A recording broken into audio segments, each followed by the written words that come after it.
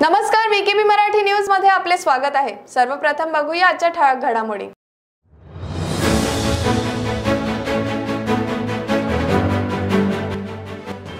मेयोतील सुलभ शौचालयाचे प्रलंबित निर्माण कार्य तातडीने पूर्ण करण्याचे महापौर दयाशंकर तिवारी यांचे आदेश.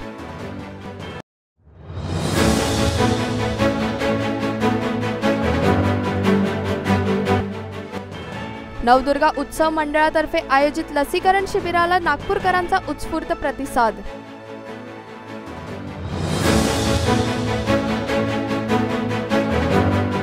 आणि केंद्र आणि राज्य सरकार देत आहे शेतकऱ्यांना खोटा दिलासा. स्वाभिमानी शेतकरी संघटनेचे अध्यक्ष राजू शेट्टी यांचा सरकारवर आरोप.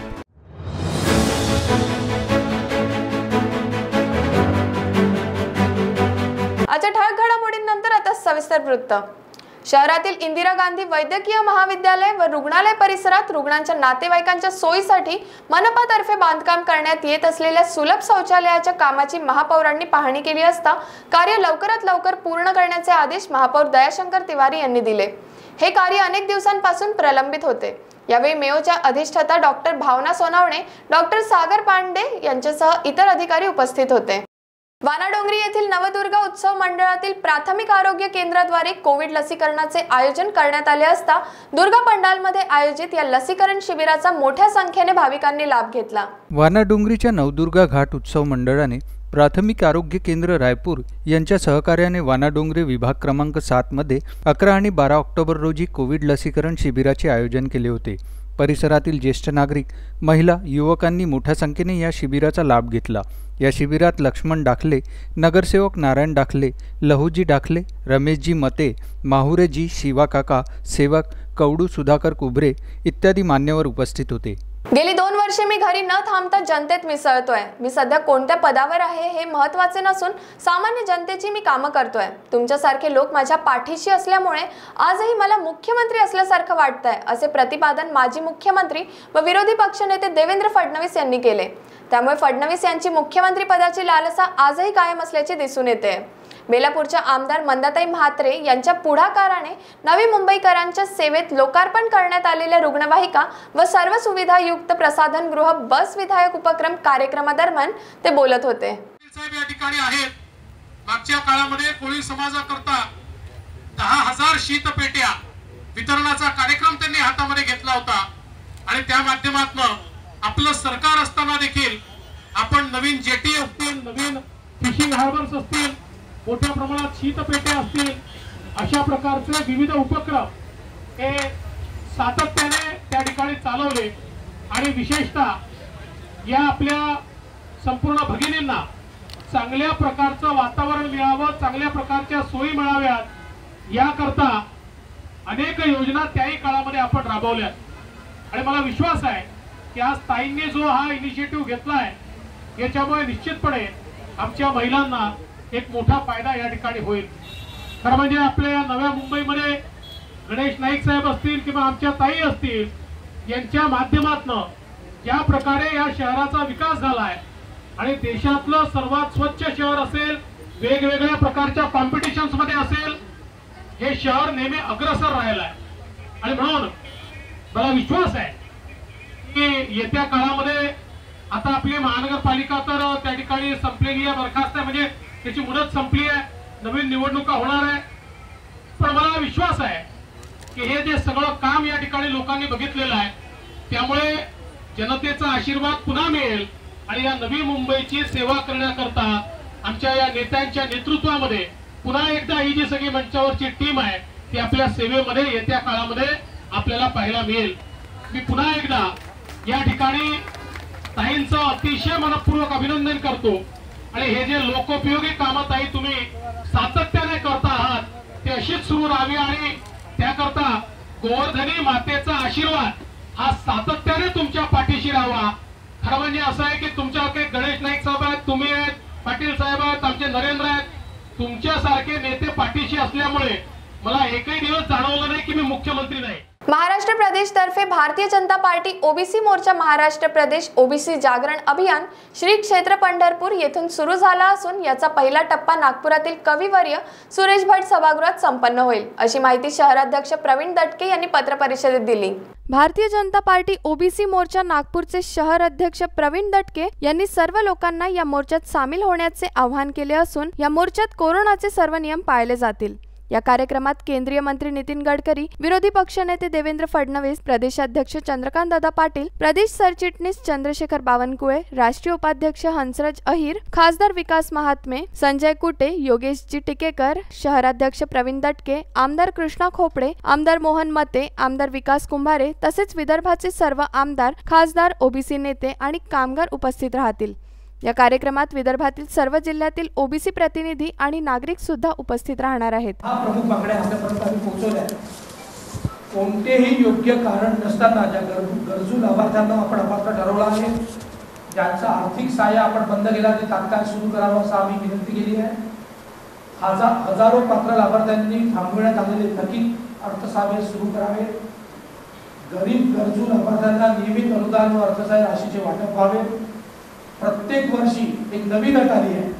प्रत्येक वर्षी उत्पन्नाचं प्रमाणपत्र व रहिवासी दाखला. सादर करण्याची अट नवीन अट आली आहे ती तात्काळ रद्द करावी. संजय गांधी निराधार योजना व श्रावणबाळ योजनेच्या लाभार्थ्यांना किमान भाजप सरकारने माननीय देवेंद्र फडणवीसांच्या सरकारने बाराशे रुपये केले होते. ते पंधराशे करावे अशी आमची विनंती आहे. और आमचा सहावा प्रश्न आहे राष्ट्रीय कुटुंब अर्थ सहाय्य योजनेकरिता दारिद्र्य रेषेखालील असल्याचा दाखला देण्याची अट एक आली आहे. ही अट पण आपण शिथिल करावी कारण एखाद्या घरचा कुटुंब प्रमुख गेला तर त्या घरावर दुःखाचा डोंगर कोसळतो आणि श्रावणबाळ योजनेतनं किंवा संजय गांधी निराधार योजनेत त्याला दहा हजार रुपये मिळण्याची पहिले सुविधा होती. ती पण सुविधा सध्या बंद आहे. अशा सहा प्रमुख मागण्यांकरता हा आमचा मोर्चा आहे. अमृत महोत्सवाच्या निमित्ताने गडचिरोलीमध्ये सायकल महारॅलीचे आयोजन करण्यात आले असता या सीआरपीएफच्या रॅलीला राज्यपाल भगतसिंग कोश्यारी यांनी हिरवी झेंडी दाखवत रवाना केले होते. भारताच्या स्वातंत्र्याच्या पंच्याहत्तरव्या वर्षानिमित्त सी आर पी एफने सायकल रॅलीचे आयोजन केले होते. महाराष्ट्राचे राज्यपाल भगतसिंग कोश्यारी यांनी मंगळवारी सकाळी नऊ वाजता C R P F D I G ऑप्सचे कार्यालय एम आय डी सी गड येथून हिरवी झेंडी देत रवाना केले.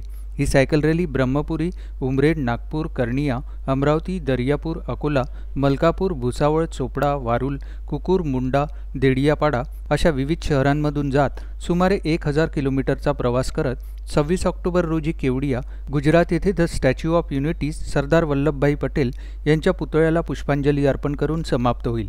सी आर पी एफचे जवान आणि महिला या सायकल रॅलीमध्ये सामील आहेत. जे सर्व देशवासियांना देशभक्तीची तसेच निरोगी जीवन जगण्याची जाणीव करून देत आहेत.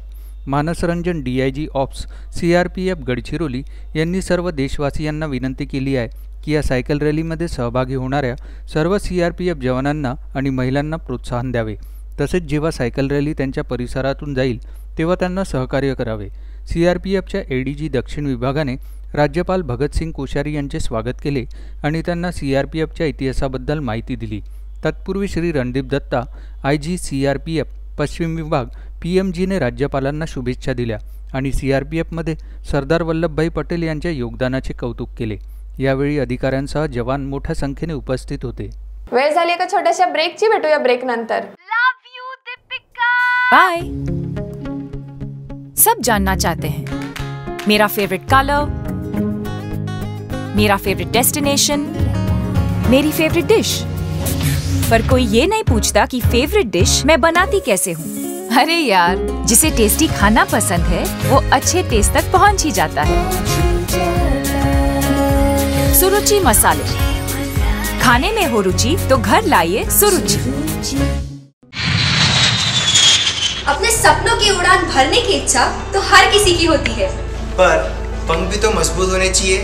जो देता है Flywheel aviation academy Flywheel aviation academy एक ऐसा इंस्टीट्यूट है जहाँ पर एयरलाइंस एंड एयरपोर्ट हॉस्पिटैलिटी और टूरिज़्म मैनेजमेंट साथ ही यहाँ campus interview guidance by industry expert practical training at airport expert faculty personal grooming जैसे कई सारे बेनिफिट्स आप पा सकते हैं। Flywheel aviation academy one degree three job opportunities Flywheel aviation academy gives you a degree और diploma with a job Flywheel aviation academy 365 Gandhinagar LAD college square beside Karnataka bank Nagpur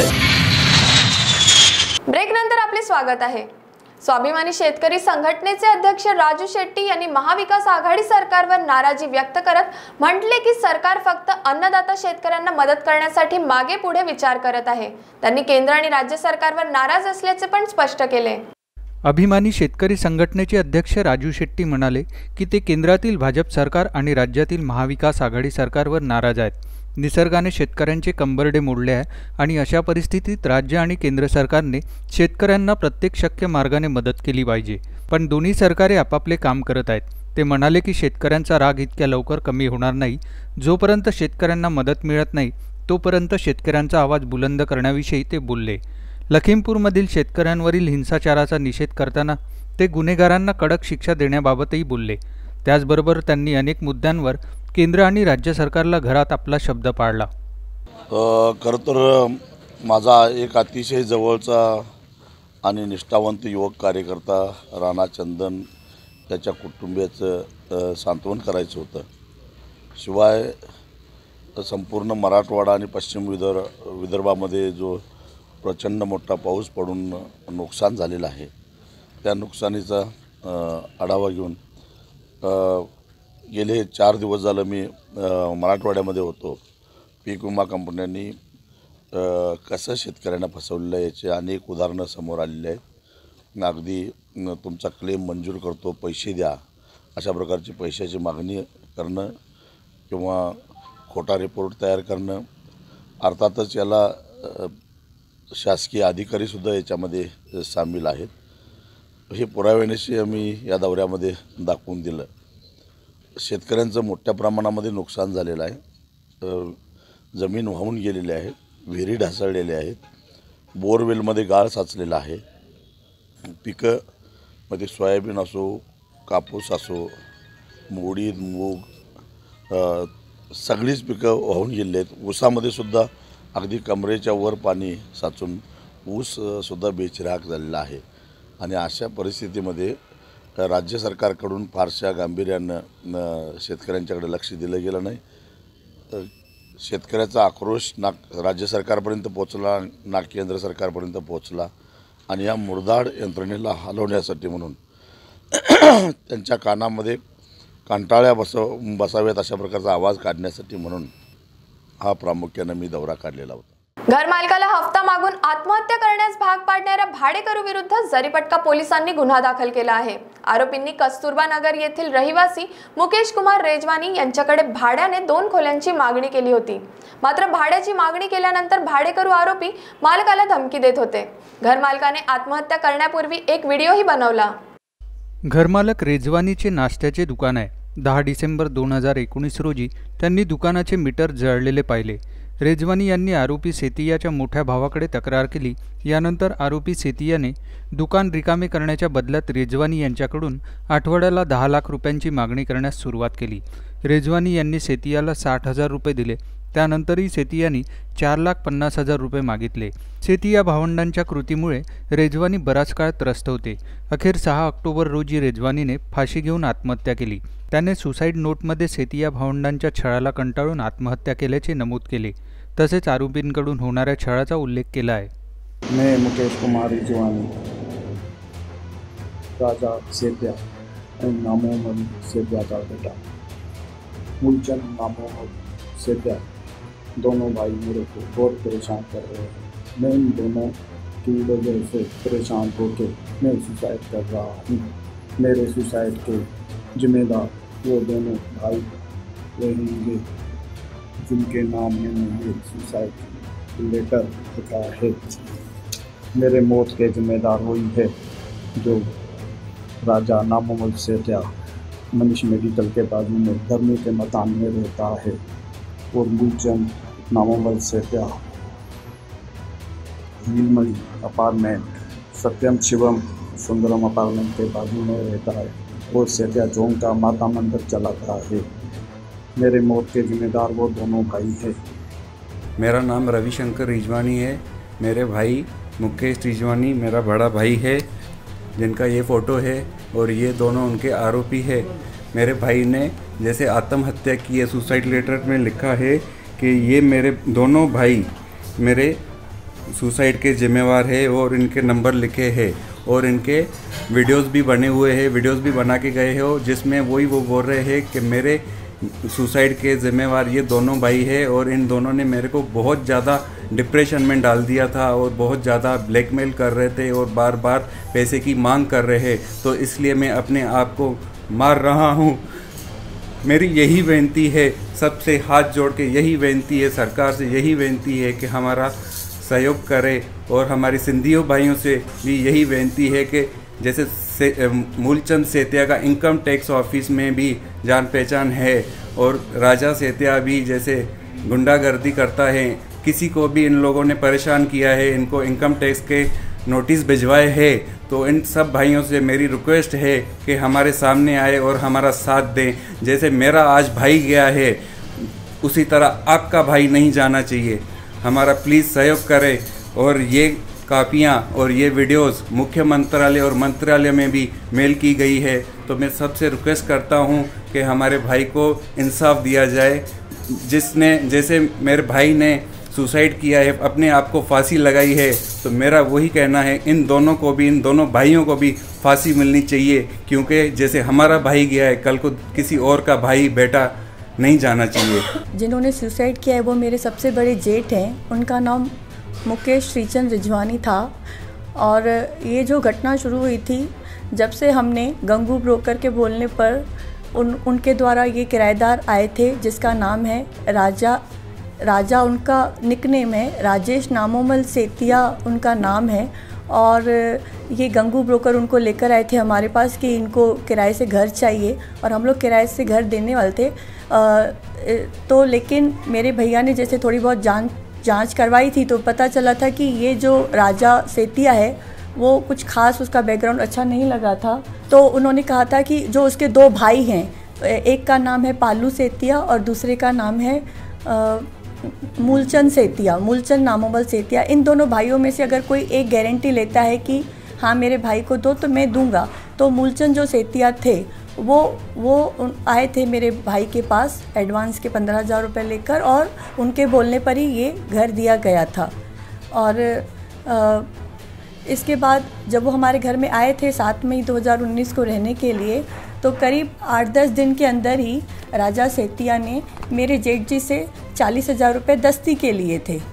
इस ये कह के कि मैं आपको सात दिन में लौटाऊँगा सात दिन के बाद जब मेरे जेठ जी उनसे पैसे वापस मांगने गए तो वो, वो टाल मटोल करने लगे कि हाँ देता हूँ हाँ देता हूँ। जबकि उस समय सेतिया चौक स्थित हमारे दुकान का कंस्ट्रक्शन चालू था।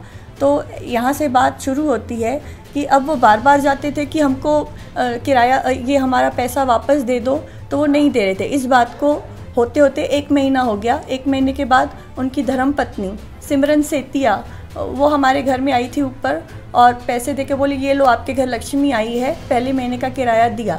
ये बात होने के बाद, उसके बाद फिर जो मेरे जेठ जी हैं, उनको राजा सेतिया को बोलते थे कि, पैसे दो, मेरा काम रुका हुआ है, मेरे को भी काम में है, मैंने तुमको एज अ मदद करने के लिए दिए थे तो अभी हमारे पास भी ऐसा नहीं कि मैंने जिस हिसाब से थी तो मुझे चाहिए।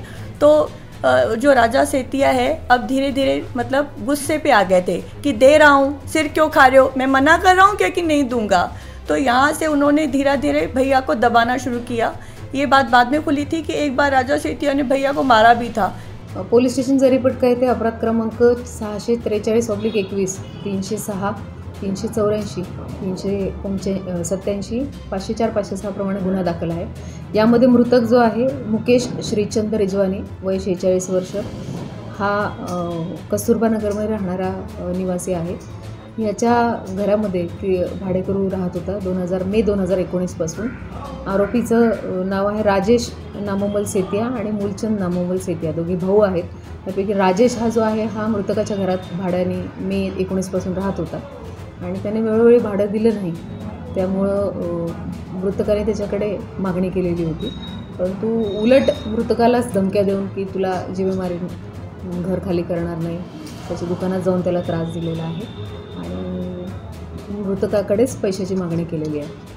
त्यावरून हा गुन्हा मृतकाने दिनांक सात तारखे सा सहा तारखेला सहा दहाला आत्महत्या केलेली आरोपी जे आहेत हे आरोपीपैकी आरोपी क्रमांक एक जो आहे त्याच्यावर यापूर्वी एक अदखलपत्र गुन्हा दाखल आहे.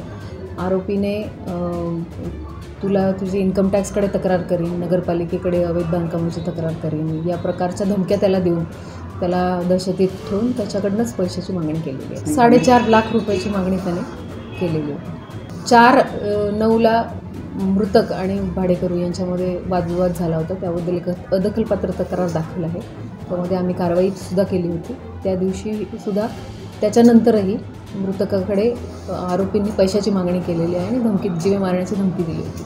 त्या त्या कारणाने मृतकाने आत्महत्या केली. गळफास लावलेला आहे. घराच्या वर सगळ्यात तीन मजली घर आहे. वरच्या मजल्यावरच्या पत्र्याच्या शेडला दोरीने गळफास लावलेला आहे. सुसाईड नोट आम्हाला मिळालेली आहे ती जप्त केलेली आहे. सुसाईड नोटमध्येच या दोघांनी मला त्रास दिलेला आहे. माझी एन एम सीकडे तक्रार केलेली आहे किंवा इन्कम टॅक्सकडे तक्रार केलेली आहे.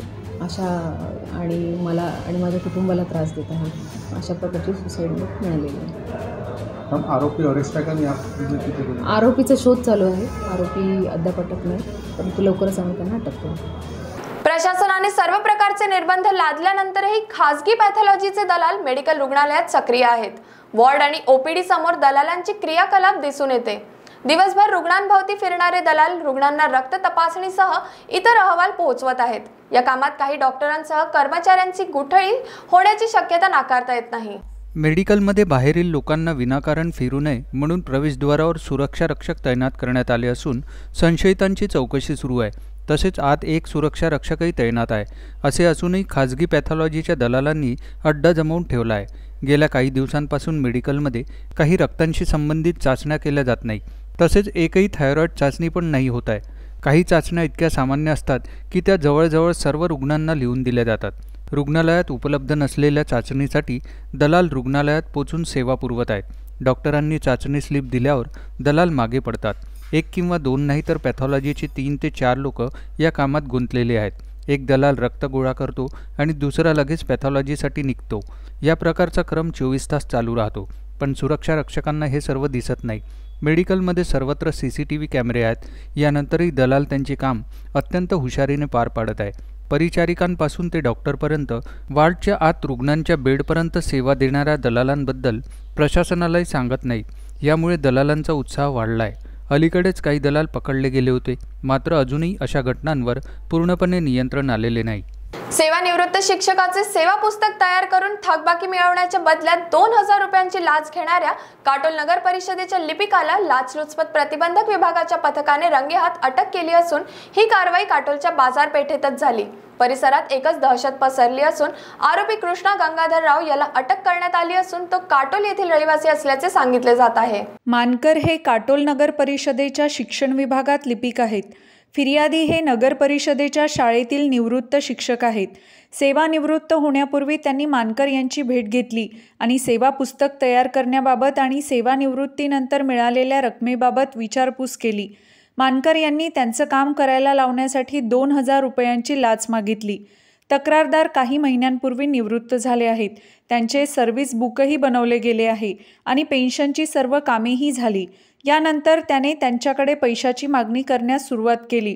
पाच ऑक्टोबर रोजी मानकर यांनी तक्रारदाराशी फोनवर संपर्क साधून दोन हजार रुपये मागितले. शिक्षकाने त्याच्या विरोधात ए सी बी कार्यालयात तक्रार केली. D Y S P Yogita Chaphale यांनी या प्रकरणाची गुप्तपणे चौकशी केली असता तक्रार खरी असल्याचे निष्पन्न झाले आणि मानकरला पकडायला सापळा रचण्यात आला. योजनेअंतर्गत तक्रारदाराने मानकर यांच्याशी संपर्क साधला. मानकर यांनी त्यांना सोमवारी काटोलच्या आठवडी बाजारात पैसे घेऊन भेटायला बोलवले. त्याने लाचेची रक्कम घेताच सापळ्यात बसलेल्या ए सी बीच्या पथकाने त्याला रंगेहात पकडले. मानकर विरोधात काटोल पोलीस ठाण्यात भ्रष्टाचार प्रतिबंधक कायद्यान्वये गुन्हा दाखल करण्यात आला आहे. कोरोना महामारीचे आकडे भलेही रोडावले असले तरी कोरोनाच्या तिसऱ्या संभाव्य लाटेचा धोका अजून टळलेला नाही. त्यामुळेच राज्य सरकारच्या वतीनं देण्यात आलेल्या आदेशानुसार जास्तीत जास्त लोकांचं लसीकरण व्हावं म्हणून मिशन कवच कुंडल सुरू करण्यात आलं आहे चौदा ऑक्टोबर पर्यंत चालणाऱ्या या अभियानादरम्यान केवळ दोन दिवसांच्या आत एकतीस हजार सातशे चोवीस लोकांना पहिला व दुसरा डोस देण्यात आला. ही विशेष मोहीम अभियान महानगरपालिकेद्वारे विशेष टीम तयार करण्यात आली आहे. महानगरपालिकेच्या वतीने देण्यात आलेल्या माहितीनुसार मंगळवारीही मनपा व शासनाच्या सर्व लसीकरण केंद्रावर अठरा वर्षांवरील सर्व नागरिकांना लस उपलब्ध करून दिल्या जाईल. राज्य शासनाकडून कोविशिल्डचा पर्याप्त पुरवठा उपलब्ध करून देण्यात आला असल्यामुळे सकाळी दहा ते सायंकाळी पाच वाजेपर्यंत निशुल्क कोविशिल्ड लस देण्यात येईल. लसीकरणासाठी ऑनलाईन व ऑफलाईन पद्धतीने नोंदणी करण्यात येईल.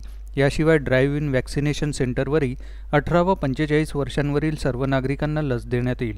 तसेच मेडिकल रुग्णालय डॉक्टर बाबासाहेब आंबेडकर रुग्णालय महाल रोगनिदान केंद्र एम्स आयसोलेशन रुग्णालय इंदिरा गांधी रुग्णालय पाचपावली रुग्णालय व दिघोरीस्थित प्रगती हॉल इथे कोवॅक्सिनची लस देण्यात येईल. तर आज विकेपी मराठी न्यूजमध्ये एवढंच. उद्या पुन्हा भेटूया काही नवीन घडामोडींसह. बघत राहा विकेपी न्यूज. नमस्कार.